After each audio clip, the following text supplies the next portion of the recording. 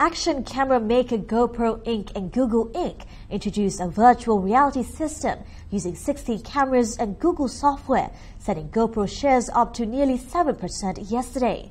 GoPro's helmet and body mounted video cameras are popular with adventure sports enthusiasts, and the new GoPro system will use Google's new jump technology to help create a 360 degree view.